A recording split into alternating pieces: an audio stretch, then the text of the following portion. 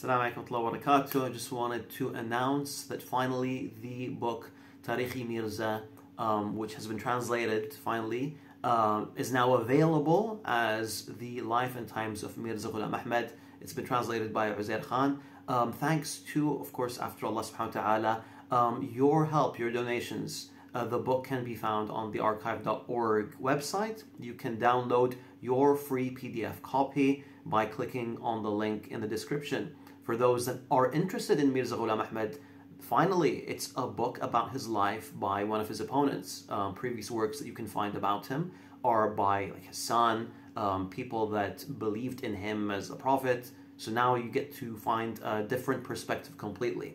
Um, also, for those that are not interested in Mirza Ghulam Ahmad, if you want to know about false prophets, their psyche, and how Allah subhanahu uh, and how Allah subhanahu wa ta'ala exposes them um, through many different means, then this is the book for you to check out. It's not really that lengthy, um, and it's such an enjoyable book. I, I found myself laughing throughout, being completely engaged, um, and the author, uh, Sana'ullah uh, Sari, who passed away um, 40 years after Mirza Ghulam Ahmad, his book, this book, um, was written 100 years ago in 1923 and and he has this ability to to get you so engaged um, in the book. And uh, what I really enjoyed and what I really appreciated was how he's just referencing Mirza Ghulam Ahmad throughout.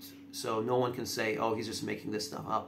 Um, but yeah it's through his point of view as well there are some things in there that that specifically you know uh, things that he witnessed himself um, engagement, his direct engagement with Mirza Ghulam Ahmad. Truly enjoyable book. I, I recommend this so much for anyone who's interested, interested in Mirza Ghulam Ahmad. Even if you're not interested in Mirza Ghulam Ahmad, you're going to enjoy this. So check it out below. Assalamu alaikum.